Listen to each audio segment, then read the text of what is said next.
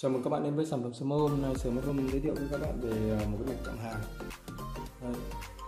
chạm hàng này thì mình sử dụng delay à, công tắc chiết áp này. À, có led báo ra ngoài và led à, khi mà delay đóng này kéo dài ra.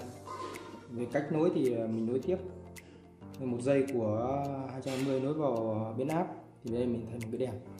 Và một dây của biến áp thì nối vào com một dây của NO thì nối vào 220 Đấy bây giờ mình cần một cái nguồn 5V các bạn có thể dùng 5, 9 hoặc 12V đều được nhé.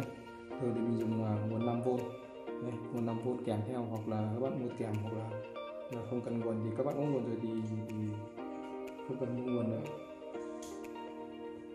Khi có nguồn vào thì để đèn led sáng màu đỏ này. Đấy tắt nguồn này. Đấy, bật nguồn này. Đấy. Tiếp đến là mình uh, sử dụng nút nhấn mình nhấn. Đấy delay là led báo. Đấy. Tăng thời gian giảm thời gian ở đây. Đấy. Giảm thời gian xuống. Này như mình nhất. Nhoáng đấy. Tăng lên tí